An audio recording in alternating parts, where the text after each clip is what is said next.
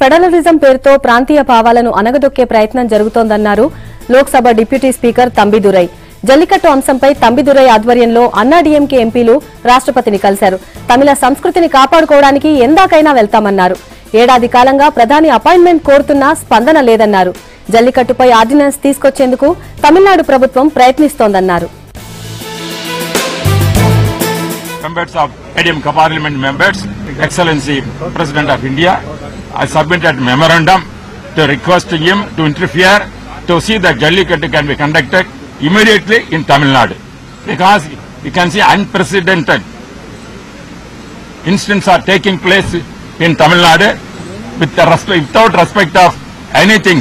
All Tamil people are joined together to protect the language, culture of Tamil people.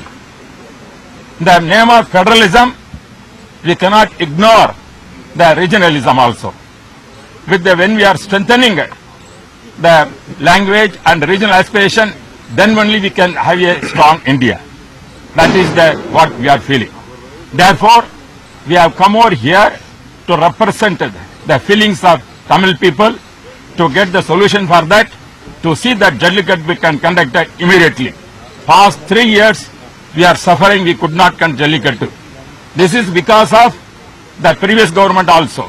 Previous UPA government, DMK and uh, Congress, they have ruled. At that time, 2011, the, Jal, the bull has included in the performance list. Because of that, we could not conduct the Jallikattu in Tamil Nadu. We represented many times and all our parliament members raised this issue in parliament so many occasions. At that time, even 2011 onwards, we are fighting for that. We could not get the solution. Even in 2014, we represented the issue in the parliament also. And also we met so many ministers, but we could not get the solution. We thought the central government come forward and bring the ordinance because this subject is concurrent list. What is the use of concurrent list? I could not understand. That concurrent list is taking away the power of the state governments. What they are doing, the either Congress and BJP, all are they doing because there there is no cooperative federalism. The Honorable Prime Minister is cooperative. What is the cooperative federalism? Where is the cooperative federalism? Whether they are whether the central government respects the feelings of the Tamil people, not only Tamil people, other uh, states also. Delicate issue also, same thing. The Tamil pride, is a part of the Tamil culture. Tamil culture means Indian culture also. You know, you know very well, throughout the world, all Tamil unite. The rare phenomena you are seeing in Tamil Nadu means this is a warning to the central government. Please see that, don't set aside the aspirations of the regional people. Then only strong India can achieve. We, so many times we came to represent the issue to the Honorable Prime Minister. In the beginning, he gave so many appointments. We are happy. We are happy at that time. But recently, past one year, all MPs are coming, representing, but we could not get the appointment. Where disappointment is there only.